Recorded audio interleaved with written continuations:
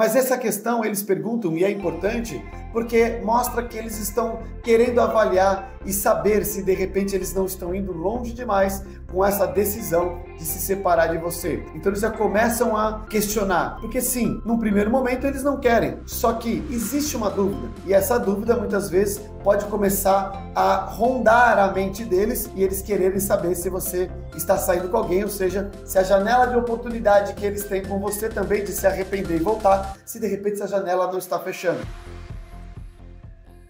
Vou falar nesse vídeo cinco sinais para você que o seu ex ou a sua ex pode estar começando a se arrepender de ter te abandonado, de ter deixado você.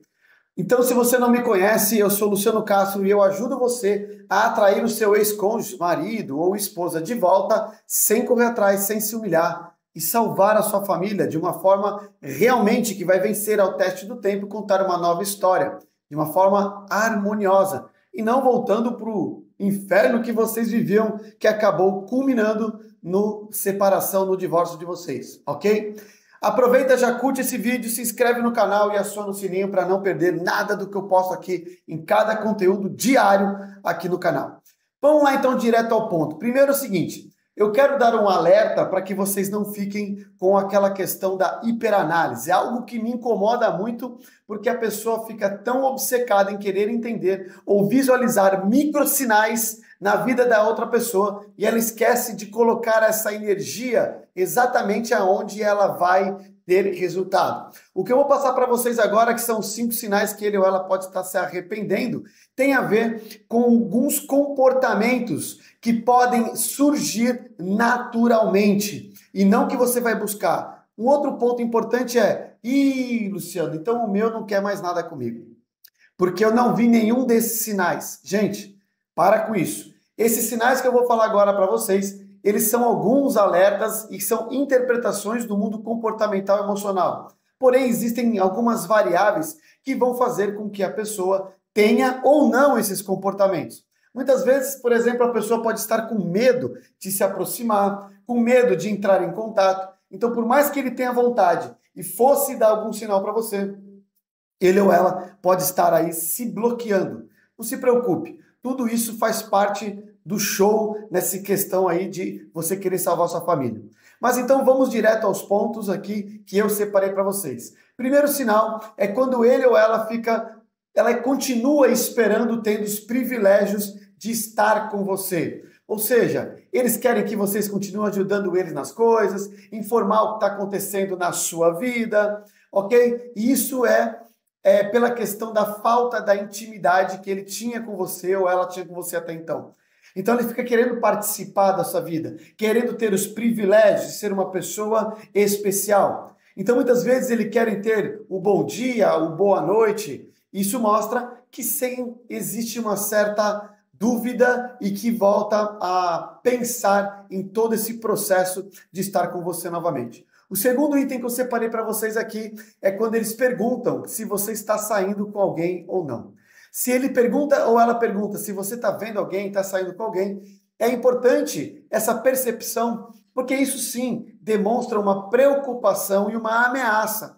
Cuidado aqui. Eu não estou falando para você falar que está, não estou falando para você inventar nem nada. A ideal é que você, na verdade, esteja cuidando da sua vida, cuidando de todo o desenvolvimento e todas as questões comportamentais e emocionais que eu tanto bato na tecla para a sua melhor versão.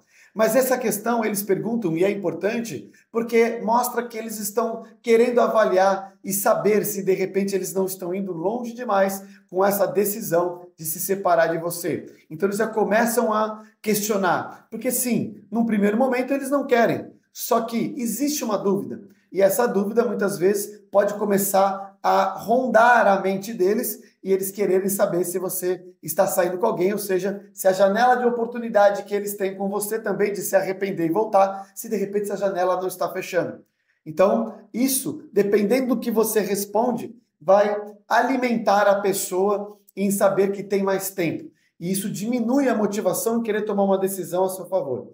Portanto, nesse caso, o que você deve falar, ou na verdade entregar, é nada. Neutralidade. Se perguntar, está saindo com alguém? vai falar algo do tipo: ainda não estou pensando nisso, várias coisas é, estão acontecendo na minha vida e está bem interessante. Só isso. Você não está dizendo que não, nem que sim, nem que não pensa nisso, mas hoje não é algo que está no seu radar por enquanto.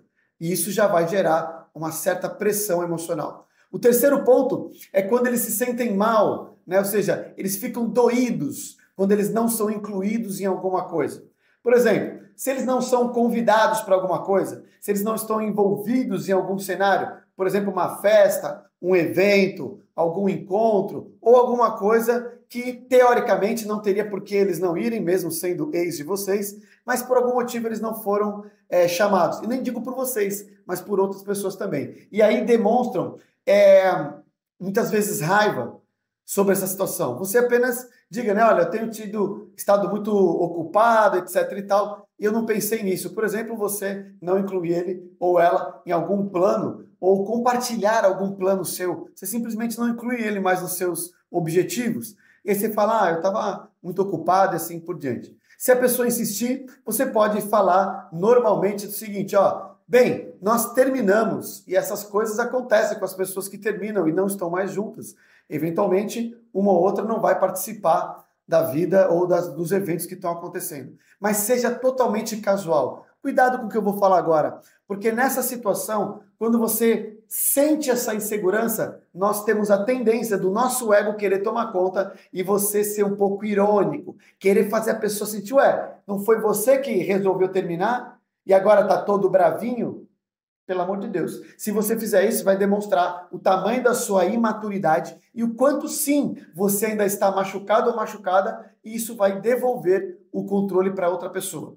O quarto ponto que eu separei para vocês é que eles perguntam se você sente a falta deles, dele ou dela. Eles querem sentir essa sensação, eles querem é, saber se você ainda sente falta, sente saudade.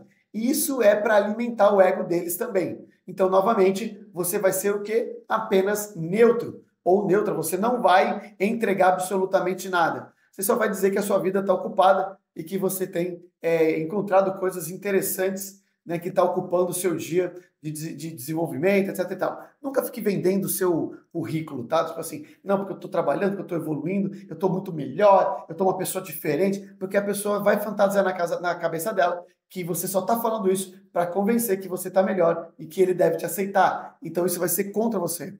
Apenas diga que a vida está seguindo e você está um pouco com a cabeça atribulada, aquela história toda, bem casual. E o último ponto é que eu vejo que a pessoa muitas vezes já está se arrependendo é que ela entra em contato e quer interagir com você com uma certa regularidade. Até porque isso é confortável. Eles querem continuar sentindo o tipo, estou em casa, eu tenho aqui essa situação que é a minha área de conforto. Entende, pessoal? É, e aí, às vezes, a pessoa fala assim, Luciano, eles não param de falar e eu não consigo aplicar o contato zero. Fique tranquilos, porque o contato zero não é dele para você, mas sim de você para ele em relação a como você reage. Então você vai responder de forma curta, casual, educada. Mas essa dinâmica da pessoa estar vindo atrás de você é uma dinâmica favorável para você. Se você tem pessoas que também conhece pessoas que estão passando por isso ou estão ansiosas com esse cenário, esses são alguns sinais. Não são todos, tem diversos outros. E muitas vezes a pessoa já vai estar se arrependendo e não vai mostrar esses sinais que eu acabei de falar para você, porque ela não sabe lidar ainda com as emoções e tem medo até mesmo da própria rejeição que você pode dar nele ou nela, caso eles se apresentem de alguma forma. Então fiquem tranquilos. Isso aqui não é um ponto que ou as pessoas apresentam sinais ou você não tem volta. Não é assim. Isso aqui são só algumas interpretações que eu vejo que são muito comuns no mundo da reconstrução, quando tem a separação e a pessoa já está se arrependendo. Espero que tenha feito sentido para você. Compartilha comigo se você já viu algum desses sinais acontecendo no seu ex ou com a sua ex, que eu vou querer saber. Um grande abraço e te vejo no próximo vídeo.